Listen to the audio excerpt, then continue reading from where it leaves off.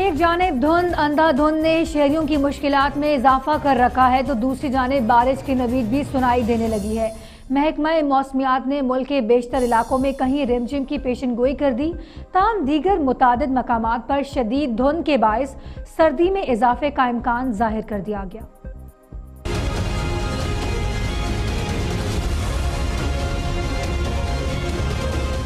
धुंध ने मुल्क के बेशतर इलाकों में डेरे जमा लिए, जिसके बाद शहरियों को सफरी और दीगर मुश्किल का सामना है। एक जानब धुंध, अंधा धुंध और शदीद सर्दी तो दूसरी जानब बारिश की नवीद ने दंग कर दिया है।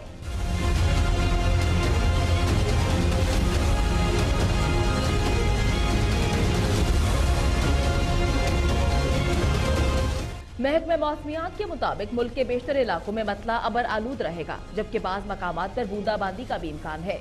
तहम पंजाब और बालाई सिंध के मैदानी इलाकों में शदीद धुंध छाए रहने का इम्कान ज़ाहिर किया जा रहा है। गुजशत 24 घंटे का मौसम, मुल्क के ज़्यादातर इलाकों में मौसम खुश्क और सर्द, जबकि बालाई इलाकों में शदीद सर्द रहा। तहम कोयटा कलात नुकंडी दालबदीन और गिलगित बल्तिस्तान में बाज मकाम पर बारिश हुई। स्कर्दू में चार कलात में एक मिलीमीटर बारिश रिकॉर्ड की गई है। स्कर्दू में बर्फबारी भी रिकॉर्ड की गई है।